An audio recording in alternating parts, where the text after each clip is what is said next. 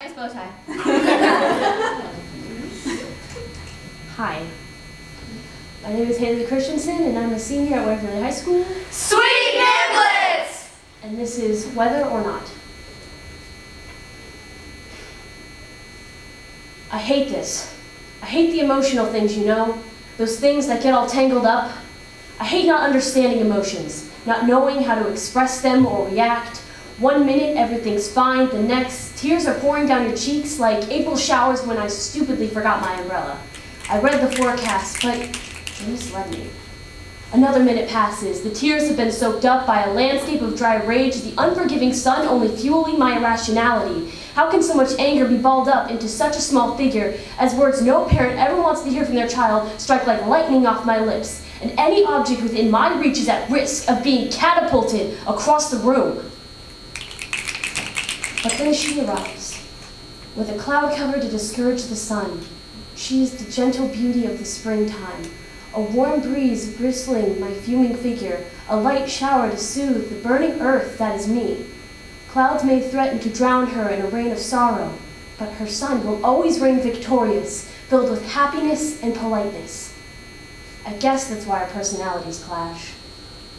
Hot air mixing with cold air and the intricate dance of the tornado, sirens fail to communicate the proper warnings.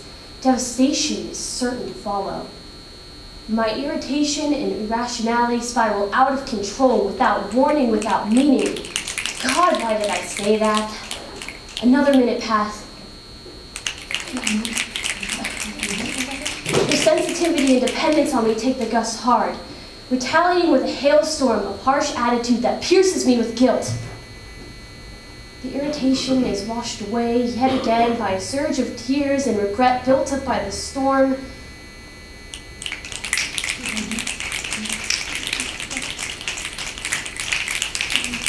Ridiculing every little mistake I made, she keeps drifting farther and farther away. Why must emotions be so hard?